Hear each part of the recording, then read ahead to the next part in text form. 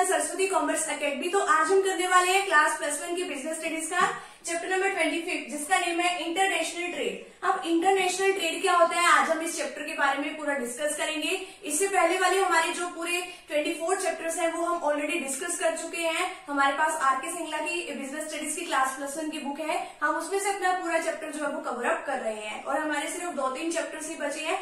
वो भी हमारे फटाफट से डलने वाले हैं। अगर आपको कोई भी टॉपिक समझना हो क्लास प्लस वन की बिज़नेस स्टडीज़ का तो आप समझ सकते हैं डिस्क्रिप्शन बॉक्स में जो है क्लास प्लस वन की बिज़नेस प्लेलिस्ट का लिंक जो है वो दिया हुआ है। आप वहाँ से कोई भी टॉपिक जो है वो समझ सकते हैं। अब बात आती है इंटरनेशनल ट्रेड की। अब इंटरनेशनल का मतलब क्या होता है कि जब दो देशों के बीच में इंटरनेशनल ट्रेड का मतलब कि दो देशों के बीच में कोई ना कोई ट्रेड हो रहा है। यानी कि हम कोई सामान जो है दूसरे देशों से मंगवा रहे हैं या किसी को कोई सामान जो है अपने देश से दूसरे देश में बेच रहे हैं, ठीक है? अब कोई भी कंट्री जो है इतनी कैपेबल नहीं होती कि वो सभी गुड्स का प्रोडक्शन जो है वो अपनी ही कंट्री में कर सके। उसको किसी ना किसी कंट्री की तो ज़रूरत होती ही है।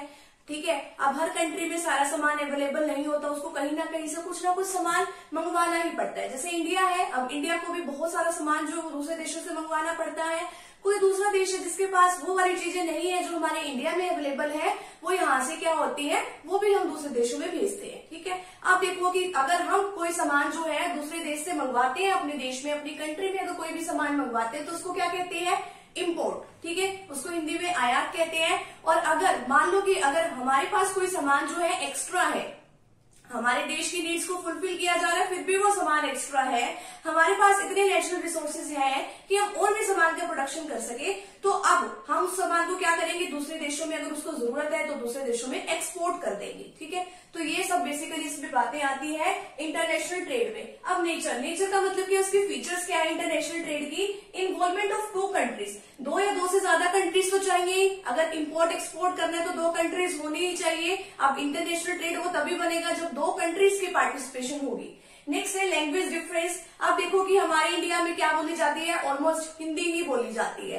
ठीक है? अब अगर अगर हम मान लो कर रहे हैं किसी से मान लो कि यूएसए से हम कोई भी ट्रेड कर रहे हैं तो उसके लिए हमें इंग्लिश भी आनी चाहिए अच्छी खासी। तो लैंग्वेज डिफरेंस रहता ही है। जिस भी देश के साथ हम अपना ट्रेड कर रहे हैं, उस देश की हमें लैंग्वेज अच्छे से आनी चाहिए। तभी हो सकता है ट्रेड नेक्स्ट है कंपेरेटिव मोर रिस्क अब दूसरे देशों की डिमांड का हमें इतना कई बार हम सही से एस्टिमेट नहीं लगा सकते। हमारे देश की डिमांड का कई बार सही एस्टिमेट नहीं पता चलता कि कई बार कुछ टेक्नोलॉजी जो है चेंज होती रहती है। तो इसी तरीके से हमारे देश के कंपेरिजन में दूसरे देशों के साथ अगर हम बिज़नेस कर रहे हैं तो वहाँ पे ज़्यादा रिस्क होता है।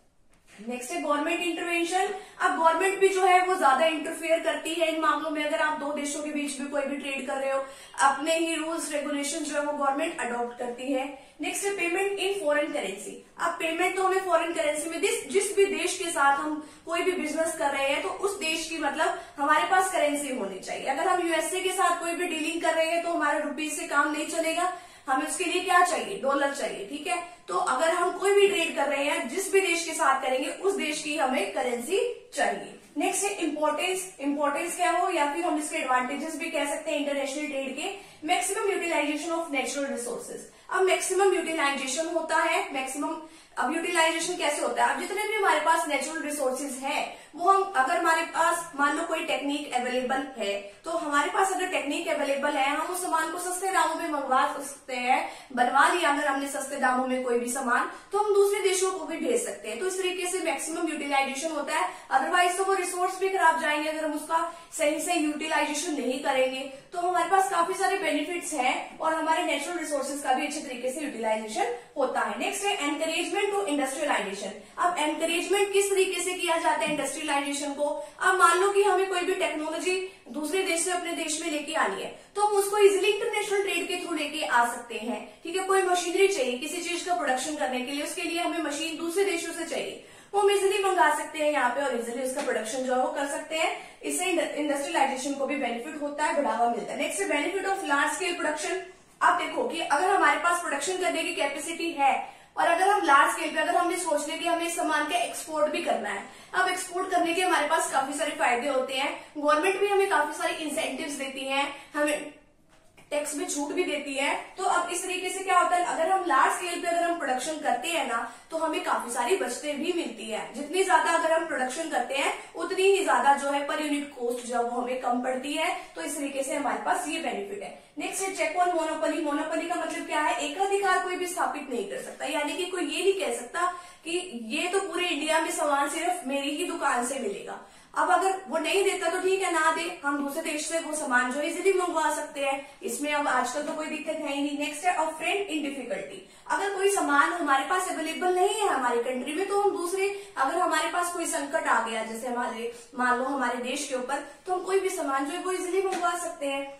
नेक्स्ट है अर्निंग ऑफ़ फॉरेन एक्सचेंज अब देखो कि अगर हम एक्सपोर्ट करते हैं तो वो अपनी करेंसी में, अब हमारे पास क्या आता है? फॉरेन एक्सचेंज आता है। वो उस देश की करेंसी जो हमारे देश में आती है। ठीक है? नेक्स्ट है एस्टेब्लिशमेंट ऑफ़ इंटरनेशनल कॉपरेशन देश में जो है कॉपरेशन काफ़ी बढ़ता है। दो देशों का आपस में सहयोग से वो काम करते हैं। नेक्स्ट है less cost due to the use of modern technique अब देखो कि अब हमें पता है कि हमें अपने सामान का दूसरे देशों में क्या करना है एक्सपोर्ट करना है। तो वो नई नई टेक्निक्स का यूज़ करते हैं। ठीक है? अब नई नई टेक्निक्स का यूज़ करेंगे, वो क्वालिटी के ऊपर भी ध्यान देंगे तो बढ़िया सामान ही हमें बना के जो है वो देंगे, ठीक है? अब ये देखो मॉडर्न टेक्निक का यूज़ करने से अगर हम नई नई टेक्निक्स को यूज़ करते हैं तो हमारे पास कॉस्ट भी क्या आती है? कम आती है। तो ये नेचर और ये इम्पोर्टेंस हमारी हो गई है। अब नेक्स्ट आता है हमारे पास स्कोप ऑफ़ इंटरनेशनल बिज़नेस ठीक है? अब स्कोप ऑफ़ इंटरनेशनल बिज़नेस में सबसे पहले आता है हमारे पास ट्रेडिंग अब ट्रेडिंग का मतलब क्या होता है? ट्रेडिंग का मतलब यही है कि हम अपने देश में कोई भी सामान मंगवा रहे हैं और अगर हमारे पास वो देश में सामान अवेलेबल है तो हम उसको वहीं से वहीं क्या कर सकते हैं? एक्सपोर्ट भी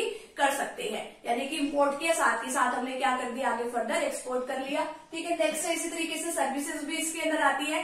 सर्विसेज़ में हमारे पास आईटी की बैंकिंग की इंश्योरेंस की, काफ़ी तरीके की सर्विसेज़ हमारे पास अवेलेबल है नेक्स्ट है हमारे पास मैन्युफैक्चरिंग एंड मार्केटिंग अब मैन्युफैक्चरिंग एंड मार्केटिंग का मतलब क्या है? इसके अंदर क्या होता है कि जो कंपनी जो है वो खुद ही माल का प्रोडक्शन करती है और खुद ही दूसरे देशों में एक्सपोर्ट कर देती है। जैसे कि एमएनसी वगैरह भी इसमें एग्ज़ाम्पल के तौर पर ले सकते हैं। नेक्स्ट है ग्लोबल सोर्सिंग फॉर प्रोडक्शन इसके अंदर क्या होता है कि जो हमें माल जो है रॉ मटेरियल जो है, जो दूसरे देशों से हमें सस्ता मिलता है, वो हम अपने देश में पहले क्या कर लेते हैं? इम्पोर्ट कर लेते हैं और फिर जो फिनिश गुड्स बन जाती है, जो अच्छी क्वालिटी की, वो हम फिर दूसरे देशों में एक्सपोर्ट कर देते हैं। नेक्स्ट है फॉरेन इन्वेस्टमेंट कि कहीं पे जाके इन्वेस्टमेंट करना। अभी फॉरेन डायरेक्ट इन्वेस्टमेंट भी हो सकती है पोर्टफोलियो इन्वेस्टमेंट भी हो सकती है। डायरेक्टली किसी देश के अंदर जाके इन्वेस्टमेंट कर देना, वो तो आता है फॉरेन डायरेक्ट इन्वेस्टमेंट जैसे एमएनसी कंपनी करती है। और अगर फॉरन से कोई आके किसी दूसरी कंपनी में कोई इन्वेस्टमेंट करता है, उसको कहते हैं हम पोर्टफोलियो इन्वेस्टमेंट ठीक है नेक्स्ट है कम्प्लेक्सिटी इन्वॉल्व कम्प्लेक्सिटी यानी कि क्या क्या डिफिकल्टीज आती है हमारे को। नेक्स्ट है फ़र्स्ट है जो है लैंग्वेज डिफरेंस अब लैंग्वेज डिफरेंस अब देखो कई बार जो है लैंग्वेज का भी काफ़ी बैरियर हो जाता है। किसी को लैंग्वेज नहीं समझ में आती जब हम इम्पोर्ट एक्सपोर्ट करते हैं या इंटरनेशनल ट्रेड करते हैं, ठीक है? तो मोर रिस्क इसके अंदर रहता है। कई बार हमें डिमांड का इतना नहीं पता चल पाता कि कितनी डिमांड है, क्या लोग चाहते हैं, क्या लोग नहीं चाहते हैं। ठीक है, कई बार हमें कुछ नहीं समझ में आता तो हमें इसके अंदर रिस्क फैक्टर जो है वो ज़्यादा होता है। नेक्स्ट है गवर्नमेंट कंट्रोल गवर्नमेंट का भी काफ़ी सारे रूल्स रेगुलेशन हमें ये फ़ाइल जमा कराओ हमें इस चीज़ की रिपोर्ट दो, काफ़ी सारी डिफिकल्टीज गवर्नमेंट भी कर देती है इसके अंदर create next difference in laws अब डिफरेंस इन लॉज का मतलब क्या? अपने ही देश के लॉज समझने मुश्किल है। अब दूसरे देशों के लॉज यानी कि कानून अगर समझते हैं तो बहुत ही ज़्यादा डिफिकल्टी उसके अंदर आती है। हमें सारे रूल्स का पता होना चाहिए कहीं हम कुछ गलत ना कर दें। नेक्स्ट है डिफिकल्टी इन पेमेंट्स अब हमारे पास अगर हम पेमेंट्स कर रहे हैं तो हमारे पास फॉरेन करेंसी अवेलेबल होनी चाहिए तो उसकी सबसे पहले पूरी अरेंजमेंट करो। नेक्स्ट है lack of information about foreign trader अब हमें इन्फॉर्मेशन चाहिए होती है फॉरेन ट्रेडर के बारे में, कि हाँ भी फॉरेन के व्यापारी किस तरीके से डीलिंग करते हैं, क्या करते हैं, किस तरीके से वो लोगों के डिमांड्स के बारे में पता लगाते हैं। तो यानी कि सारी डिफिकल्टीज इसके अंदर आ जाती है, कोई भी इन्फॉर्मेशन बता के राज़ी नहीं होता। नेक्स्ट है कस्टम ड्यूटी वगैरह। अगर मान लो कि हम अपने देश में कोई बाहर से कोई सामान मंगवा रहे हैं तो सबसे पहले हमें क्या करनी पड़ेगी? कस्टम ड्यूटी पे करनी पड़ेगी। बाद में हमें अपना सामान जो वो मिलेगा। और इसके बाद हमारे पास एक छोटा सा टॉपिक और है कि हम किस तरीके से इंटरनेशनल ट्रेड में, यानी कि हमारे पास क्या क्या तरीके हैं इंटरनेशनल ट्रेड करने के। फ़र्स्ट आता है हमारे पास कॉन्ट्रैक्ट मैन्युफैक्चरिंग इसके अंदर एक कंट्री ऐसी होती है, यानी कि एक्सपर्ट होती है। उसका काम होता है मार्केटिंग का कि वो कोई भी गुड्स जो वो इजिली सेल कर देती है।